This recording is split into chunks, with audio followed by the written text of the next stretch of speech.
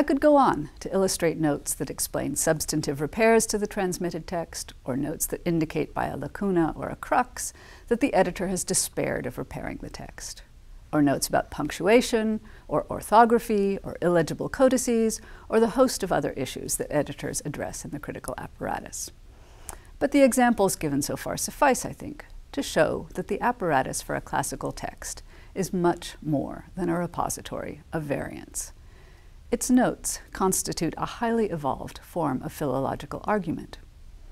As I said before, the critical apparatus is a repository not of variants, but of arguments in the best sense of the word about variants. This form of philological argumentation may in fact be too highly evolved to move easily into the digital medium. Apparatus notes cannot simply be read. As we've seen, they have to be decoded, not only by the expansion of abbreviations and the filling of omissions and the interpretation of symbols.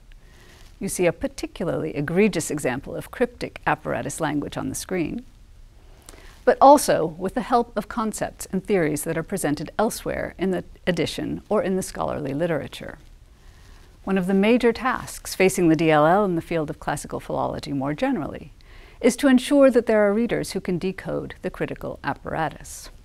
Only then will we be able to recode it for the digital future in a way that captures the arguments as well as the variants. I spend a fair amount of time working on just this task with my students at Penn. And to conclude, I'd like to show you the t-shirt that every member of one class wore to the final exam. It repurposes a Tacitian expression to capture perfectly my message about the importance of the critical apparatus for a classical text sine apparatu, sine honore.